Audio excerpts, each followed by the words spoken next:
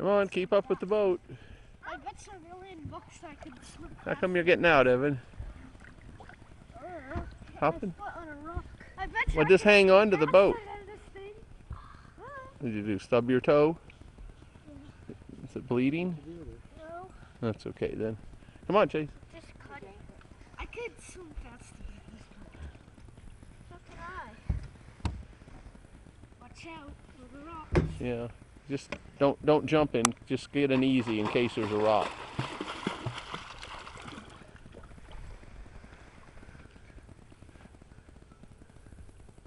We're gonna crash into that post up there.